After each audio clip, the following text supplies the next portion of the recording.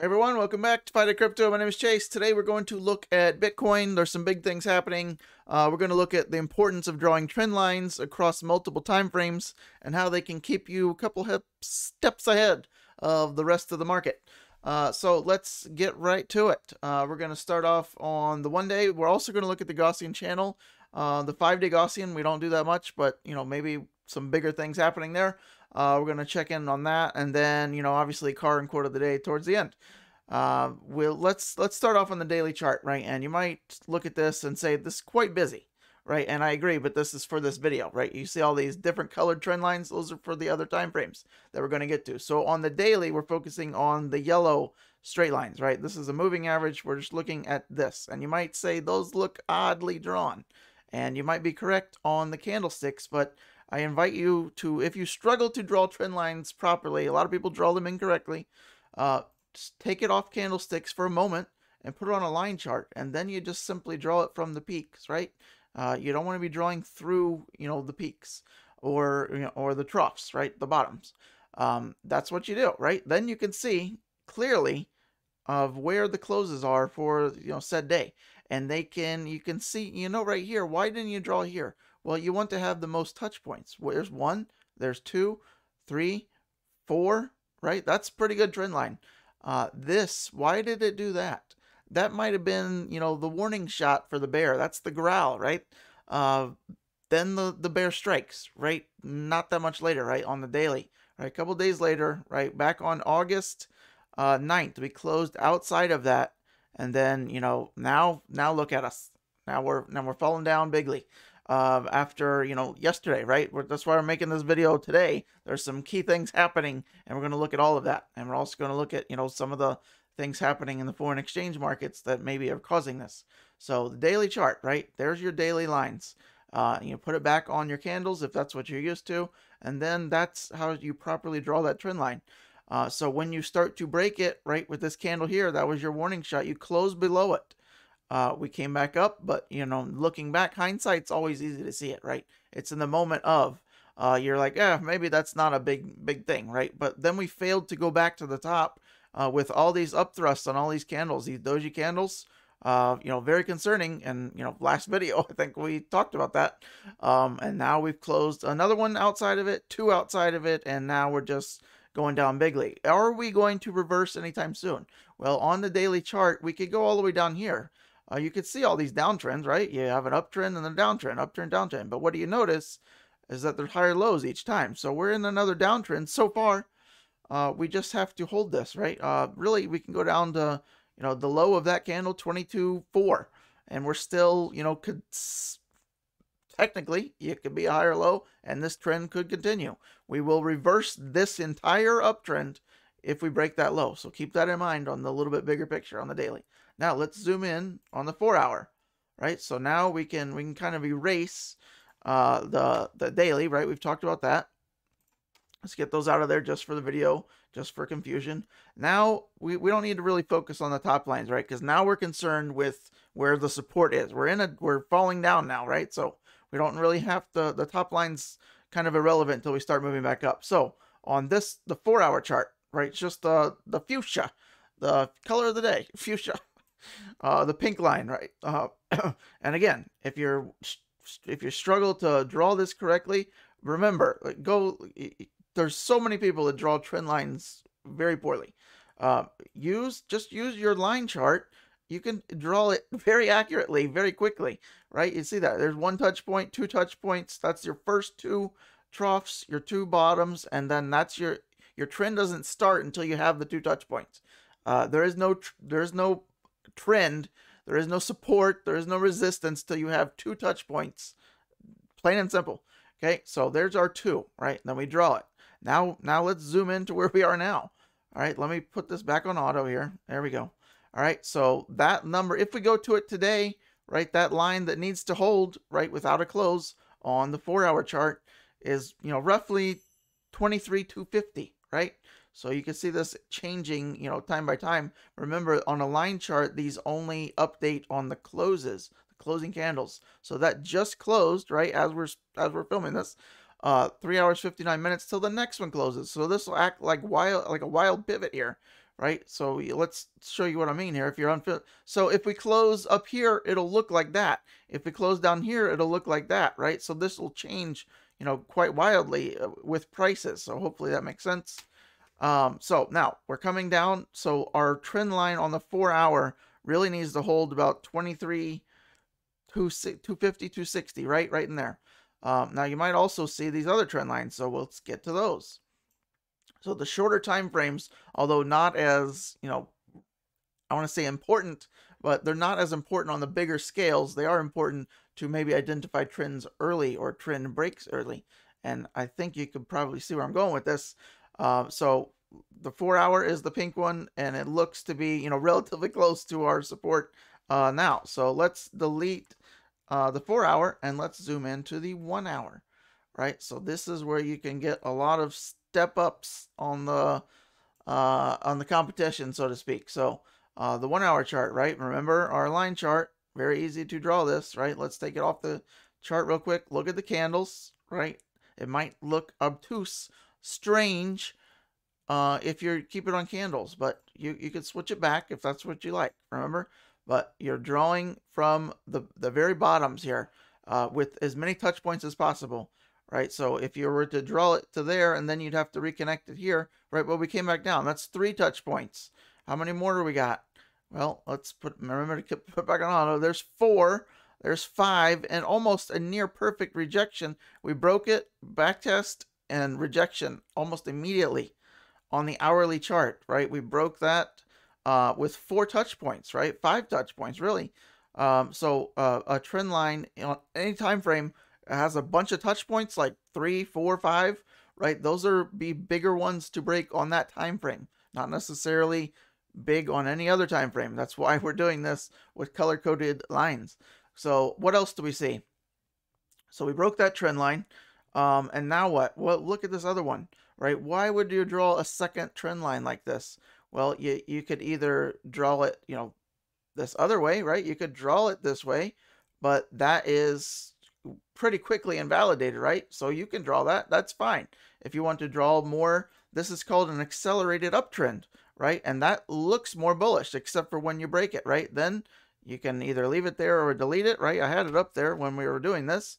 Uh, but now this is called decelerating uh, downtrend uh, or uptrend, right? You're you're still in an uptrend, but it's showing signs of slowing down because look at the angle of the attack here, right? So a trend that's going like this uh, is, you know, very bullish. If it accelerates further, right, it's even more bullish, right? Think of a bull market, how it like peaks out at the end.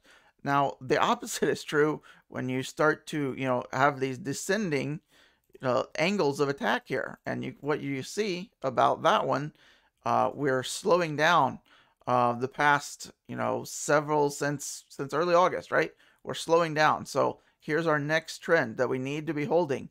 And it's, if you remember on the four hour chart, it's right at the same level, right? 23,260. So that will be a pivotal moment on the one hour and the four hour chart. If we lose that and you see this blue line, because that's the closing price, if you see that below here, uh, another bear swipe, right? Another bear paw coming at your face. So let's put it back on candles, get back to the normal, and now you can see. So remember that when you're drawing uh, these trend lines, you can draw from from uh, you know bottom to bottom to bottom, right? That would be the next one, and that that would look like it's increasing uh, in you know in bullishness, which it was at that time, and that got invalidated, you know, right around in here, right? If you draw that line, uh, so then now you're focusing on you know the main trend line here, and then if you continue to hold that, right, you can still draw it from the bottoms. That's fine. But then when you start to break that, you need to look for your previous two local bottoms, uh, and that's showing that the trend is slowing. So the trend is slowing for sure on the hourly chart as far as the bulls, uh, and the bulls will, you know, again get start to get slaughtered by the bears if we start to break this line because then we're breaking down even further. Uh, and now we're starting to look at downtrends, right? So we're trying to roll over. If we break this on the hourly chart, the odds are going up that you know the Bears are coming out to play in a little bit of a bigger way. So let's uh, for those of you still with me, hopefully we're recording. Uh, let's zoom out to the biggest, not say the biggest, but the the most biggest that we tend to look at the weekly chart. And where are we here, right? This is the 200 week in the orange. Uh, we've lost that as support. We've reclaimed it relatively quickly, right? This is the first time ever we've been, you know, multiple candle weekly closes under here. So yeah, this time is different, you could say, the old cliche. But, you know, what did we do last week? We talked about this in the last video too. We closed above the EMA 8. That's a big thing. We hadn't closed above the EMA 8 since March, our, our rally to 48K. Remember that? Uh, and that was short lived. And now look where we are again. We did it, uh, you know, months later, and we're seemingly struggling again to show some follow through to the upside, right? Our next logical, really, resistance point on TA is around 28K, which on the daily chart, you know, flipping back over to the daily really quick, if you didn't see my last video, right? That's the 30 day long consolidation around that 28, 28.5 level, right? So that's our next logical place on the weekly chart since breaking through the EMA 8. But so far, we're struggling to do that. We're even struggling to hold the EMA 8 as support. That that number is 23,555 right now as of recording. Um, that will change throughout the week. Uh, but if we fail to close above that this week at week's end, four days, eight hours, the odds will increase of us either going sideways more for the next couple weeks or, uh, you know, going down to our 23K level, which is not that far, right? 23.5 to 23K. These are kind of a double kind of net right here. So we broke through it initially, but are we going to fall right back down? Uh, that remains to be seen, but uh, important weekly close. If we close under the 200 week, let me be vividly clear here. If we close under the 200 week, 23K, if we close under that, the odds are going astronomically higher of us going to not only test these lows here, but potentially making new lows. Why? Because this was this would just be a fake out, just like this, right? When you fail to follow through with your rally, that's showing extreme weakness in the market, right? This so far has just been a relief rally. Uh, in order to continue, we need to be holding uh, massive moving averages that we just reclaimed. Okay, so this will be huge come four days, eight hours from now. If we're under here, we're in deep shit. if we're above here, we're still okay. Doesn't mean you can't go to deep shit, but uh, you we're at least okay for the for the time being, right? If we are under here, if we are anywhere under the 200 week, right? And if you want to know where the close is, did we close under there or not, Chase? Right? Easy way to tell. You guessed it, the line chart, right? If you see any blue sticking under that orange line on on you know the week close, it's it's good night, right? We're going down minimum, you know, minimum. I would say 10%. And if if not, you know, 15, you know, relatively quickly, right? Do you remember this? Do you remember this whole chestnut? chestnut. Um uh this this whole thing, right? Does this just very bigly stuff going on. Now, speaking of that, what else is going on? What caused this crap this morning? Was it just, you know, the bulls giving up? No right? Let's go look. We, we highlighted this yesterday on Twitter. Uh, Forex Factory, right, tracks all the currencies around the world. Uh, the DXY, if you're familiar with that, the DXY is going up today because, right, good news out of the US dollar, 8:30 a.m. Right, I tried to tell you this yesterday. There'd probably be increased volatility today. So last month, 0.9% increase, which was why is it red? Well, it they expected higher and it was lower. But this month they expected right or past month right it, it's it's a lagging right so it, this was this was for july uh, they expected you know negative 0.1% core retail sales right? This is a big thing. Um, and we actually got a 0.4% positive. That's a half of a percentage point which doesn't sound maybe i sound like much. It's big right? Because they expected not only you know 0.1 negative 0.1 right? So um, they expected a huge swing downwards. They didn't get that much of a swing downwards, right? Much better than expected. So that causes the US dollar to go up, right? So, and the retail sales kind of fell flat, uh, but core retail sales, this is a big one. And the DXY pumped after that. Um, and here we are, right? If the DXY shoots up, um, crypto tends to suck. Okay, so is that it, Chase? Are we good now? No, no. right? There's another event happening, right? Two o'clock, right here. This this could be very bigly again. Uh, watch out, 2 2 p.m. These are Eastern times, so depending on when you watch this video, it might have already happened. So if you see some crazy stuff happening, you're like, uh, I'm watching this video, and the price isn't even close to what you're talking about here. Um, it's either way up or way down. Uh, it likely has something to do with this news. So 2 p.m. expect some crazy shenanigans. Okay, so that's that's that. Uh, pay attention to this. I try to update you on this. Uh, my Telegram group, I try to keep them updated on all this stuff, daily stuff, and still in Telegram. So, all right, uh, quote of the day. It's the friends you can call at 4 a.m. that matter. so I saw this today. Uh, my quote. I do my quotes every day, right? Um, I'm screwed. uh, there's no one I'm. How many people you got you can do this to and be like, okay, what do you need, man? Zero. All right. Um, click. No, no, wouldn't even answer. what else we got? Car of the day. Uh, uh, the Bugatti EB110. It was funny. Uh, what's what's one thing that you know? This is one of the first Bugattis that you know, modern Bugattis. Uh, pretty cool looking. Uh, this person's kind of updated the headlights a bit, and the wheels a little bit newer. Most of them look you know pretty dated, but you know what's the one thing you know if you're Bugatti owner and you own one of these? What's the one thing that would be better than that? Uh, two. the same damn color.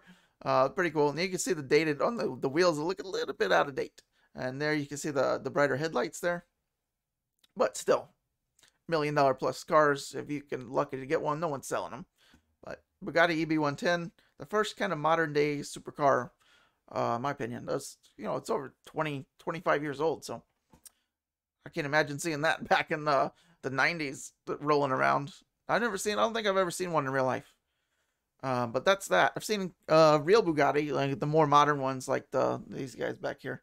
Um, the the I haven't seen a Divo, but I've seen the Chiron. Those are impressive too in real life. Um, all right, I'm done rambling. Uh, time to pay attention to Bitcoin price. Oh, oh, if you're still here, uh, we forgot to do the Gaussian channel, but I'm going to do it right now. So let's look at the five-day Gaussian channel because that's what we do. Um, occasionally, for those of you who watch to the end, I'll throw in some bonuses. So um, here we go. Five-day Gaussian. What do we got going on? Well, we're way the hell under it still, so not a huge issue. But more importantly, look what's happening here, right? Uh, there's, there's, there's the reason I'm showing you this, okay?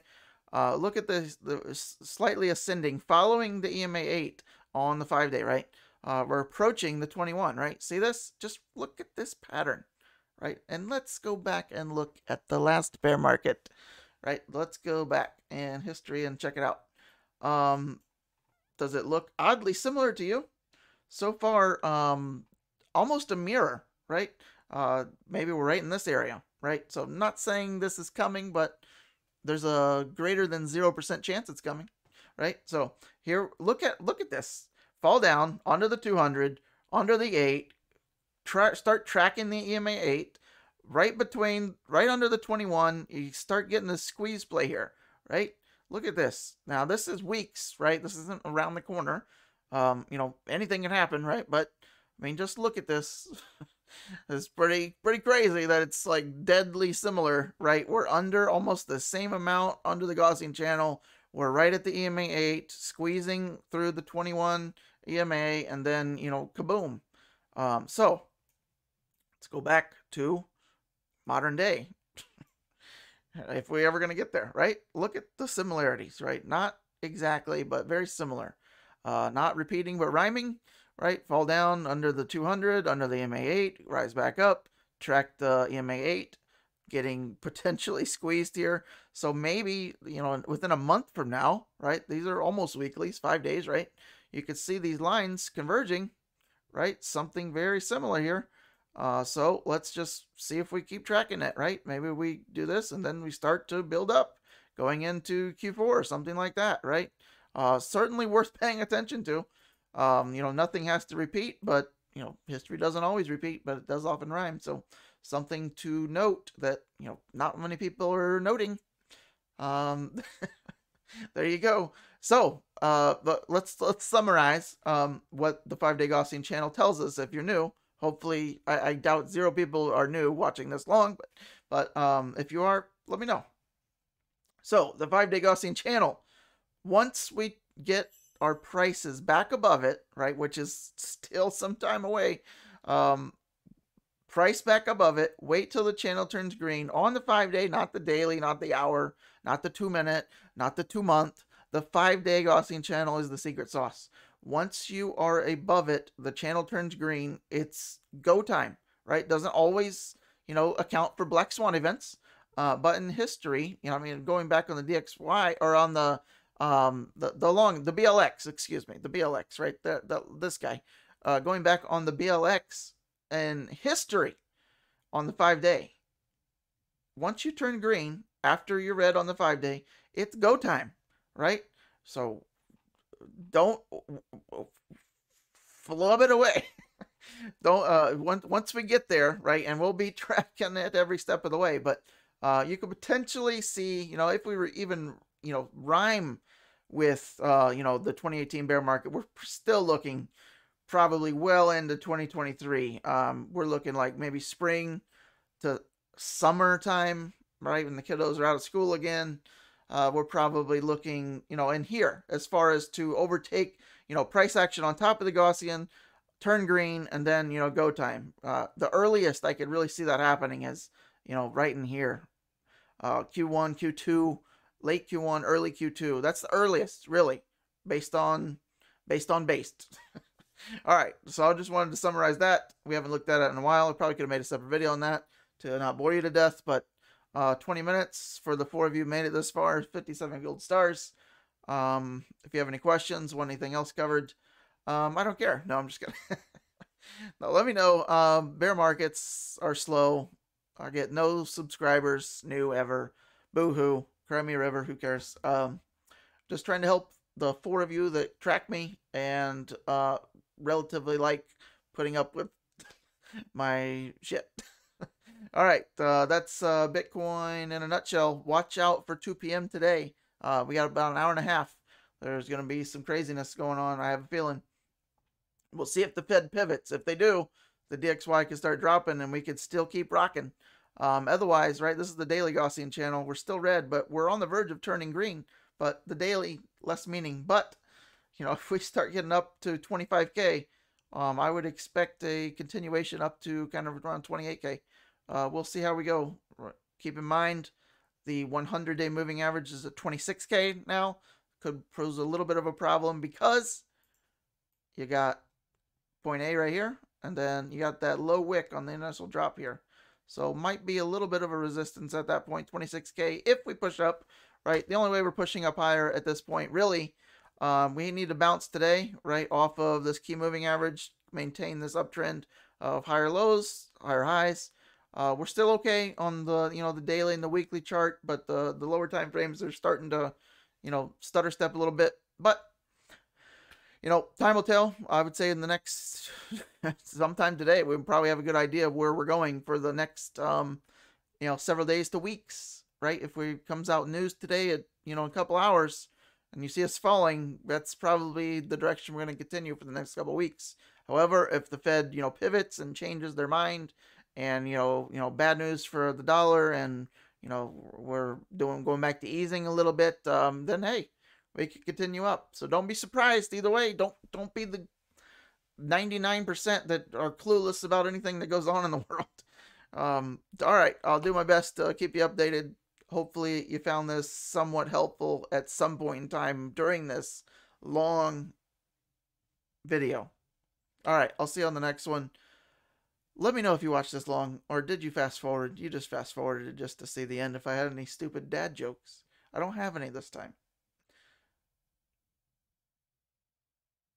Or do I? you still watching? You still here? Ferris Bueller? Um, I can't think of anything else the top of my head. I suck it off the top. Um, I got nothing. Um, what's your favorite movie? Nobody's watching this.